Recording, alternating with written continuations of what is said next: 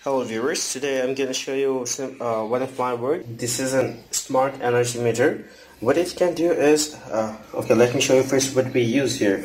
Uh, we use an Arduino Uno, then a SIM900 module, and then we use a relay, uh, current sensor. This one is the current sensor, this one is the relay, and a display to show everything in there.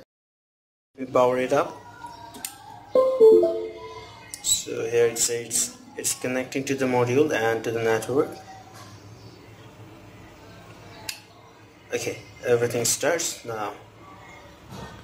I said it's a smart meter system so how is it smart? Let's show. Suppose I want to check the balance. So I can do it right from my cell phone. I write balance balance and then a question mark and send to this number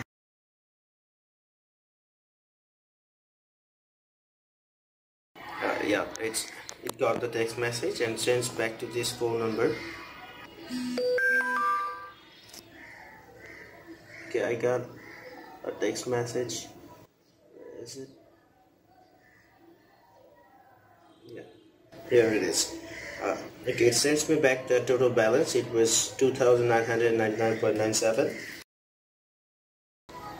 so suppose I want to recharge this meter so what I will do I will press star.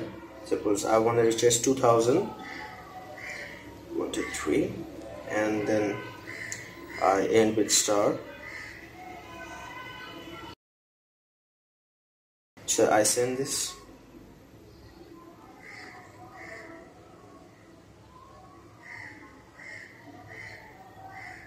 So it received the message and a confirmation message will be sent to me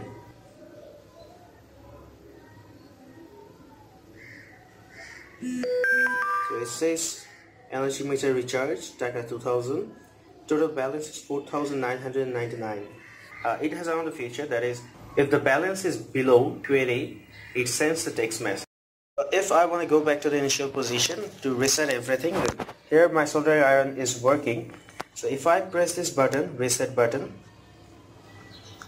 so it's reset done. Look, the balance gets to zero and when the balance is zero, uh, this one is off okay? The connection is disconnected and I, I will receive a message. It's a low balance message because as I said the balance is zero and it is under 20 taka.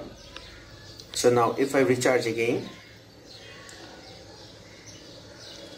hash 1000 okay 199 star. I send this message. Okay look. As soon as it receives the message